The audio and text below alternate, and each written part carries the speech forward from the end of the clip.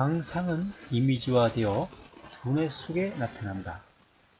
사과를 상상하면 사과가 이미지화되어 머릿속에 그려지고 병아리를 상상하면 병아리의 이미지가 머릿속에 그려집니다. 만약 열불 달린 짐승을 상상한다면 열불 달린 짐승의 이미지가 그려질 것입니다. 그러나 그런 이미지는 실제하는 것이 아니며 실제 한다고 믿게 되는 것은 두뇌 속 망상이 현실을 구분하지 못하기 때문입니다. 많은 사람들이 그렇게 표현하는 환상을 신의 계시니, 추능력이니, 깨달음이니 착각하게 되는 것입니다. 현실과 망상을 구분하는 길은 과학적, 논리적, 현실적, 증명적인가 하는 것입니다.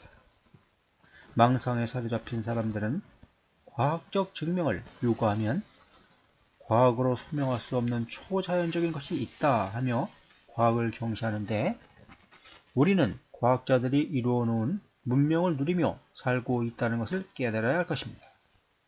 당신은 지금 거기서 소리치면 그 소리가 저 대양을 건너 사람들에게까지 전달이 되는 동해 번쩍 서해 번쩍 하는 상황의 핸드폰 인터넷을 과학자들이 창조했음을 알아야 할 것입니다.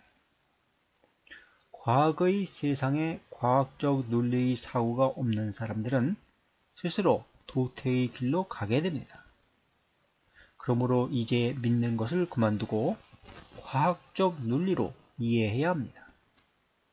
과학적 논리로 이해하십시오.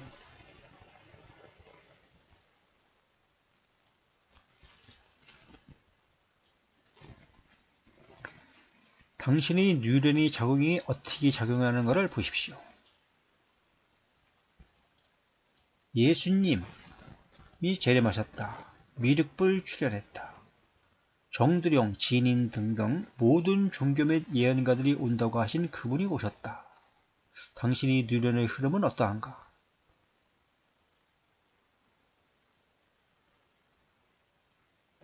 반감, 시기, 질투, 욕심이 일어나는가? 불행, 이시시, 폭력적인가? 두려움, 꺼리낌이 드는가? 환희, 담고 싶다. 행복, 사랑, 조화, 호감, 존경이, 존경심이 일어난다.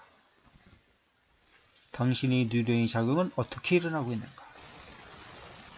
그것을 의식하는 것이 바로 초식입니다.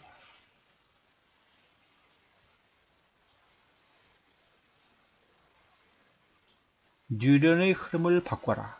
그것이 영생 불사의 부처가 되는 길이다. 바꾸는 방법을 가르쳐 주겠습니다. 따라하면 누구나 다 됩니다.